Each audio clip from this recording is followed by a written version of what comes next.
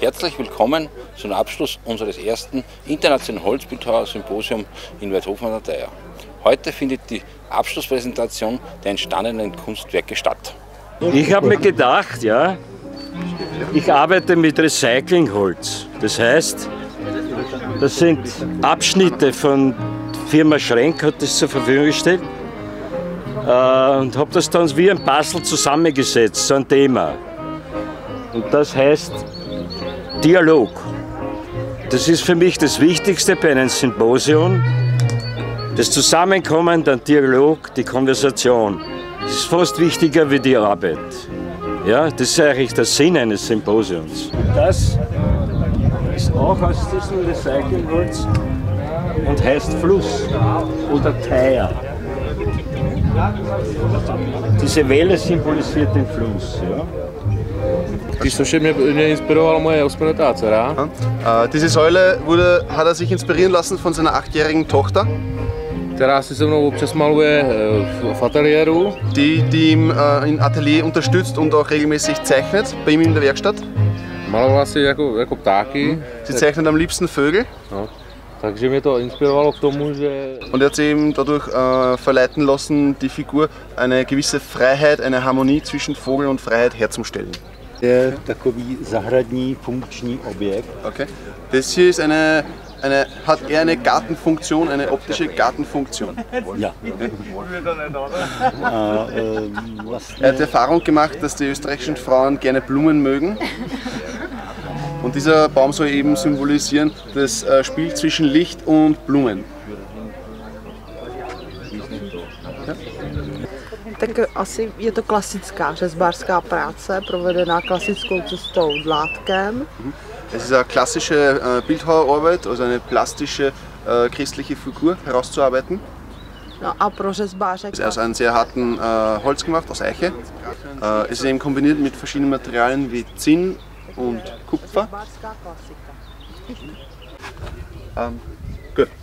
Der Herr Burscher hat, ist äh, leider schon äh, abgereist, weil er seine Freundin, die hat leider einen Krankheitsfall gehabt, die musste sofort nach Hause fahren. Ähm, der Herr Burscher hat eine Grundidee gehabt und zwar eine Bank, eine Sitzbank der Liebe zu machen. Wenn Sie, im also wenn Sie noch Zeit haben, gehen Sie rundherum und schauen Sie sich die Bank von hinten an. Von hinten sehen Sie, dass dort zwei Herzen in Form von zwei Herzklappen zusammentreffen, also eine, eine Bank der Liebe. Da kann man sich zusammensetzen und eben über die Liebe diskutieren. Das ist die, die Ansicht von unserem Herrn Künstler ist das gewesen. tak eh. Mhm. Er wollte was Praktisches äh, machen. A teda je to posedenie v, eh, uprostred prírodného boja. Mhm. Ähm, quasi ein Sitzplatz in der Natur. Und was ist noch näher in der Natur als in einem Baum? Je Der Adler ist ein, äh, ein Freiheitssymbol für ihn und für, eben für das ganze Land äh, Slowakei. Und, und die Schlange ist universell jetzt zum Sehen, aber wahrscheinlich fürs Böse. skvělý. Passt. Und eines Abends geht er so un- ganz, ganz unscheinbar zu einem Schwammerl hin, äh, hebt diesen Kopf hier an und oh, da schön. Nach diesen, to vypili.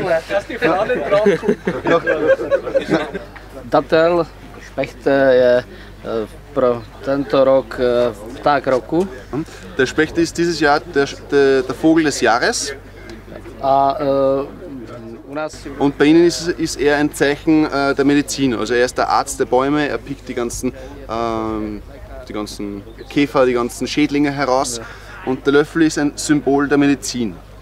Also ein, ein Heilen mit Herz quasi. Das, er pickt das Böse aus dem Herz heraus, wenn ich das so übersetzen darf. Das zweite Werkstück, also man muss sie sehr loben, sie haben in dem, das da ist seine gestrige Arbeit gewesen. Er hat, ist in der Früh hat er angefangen und ist äh, heute oder sogar schon gestern Abend ist er fertig geworden. Ähm, das ist eben ein fliegender Adler und ich finde, das ist sehr gelungen. Also die, Dyna die, Dyna die Dynamik im Adler selber, die ist bemerkenswert. Also mich fasziniert von jeher schon der Werkstoff Holz, vor allem weil jedes Stück so einzigartig ist wie auch ein Mensch.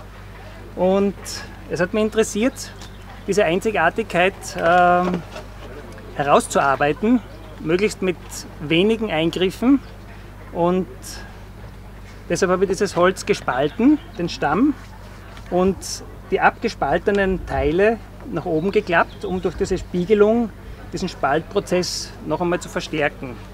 Und durch dieses Spiegeln kriegt diese Säule auch eine Mitte und ruht dadurch in sich selbst. Ja, ich habe da eine ausgestorbene Tierart dargestellt, den Gewissenswurm. Er ist da ein bisschen eingezwickt, weil das Gewissen manchmal auch drücken kann, auch wenn man es heute sozusagen nicht besonders oft einsetzt. Äh, wenn man in sich gehen will, habe ich da eine kleine, eine kleine Sitzfläche gemacht. Die ist eher für kleinerschige Leute gedacht, also ich sitze da nicht besonders bequem, aber man kann da auf sein Gewissen hören, wenn man will.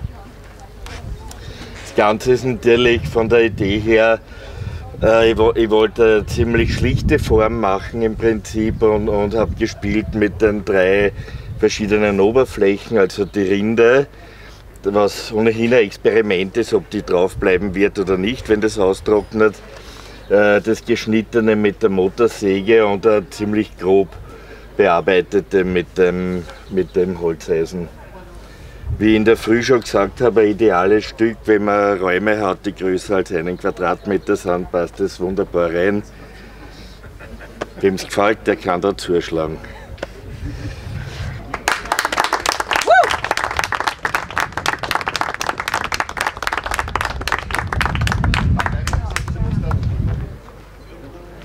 Pauli, einmal, einmal einen Halbschritt um. Ja, genau.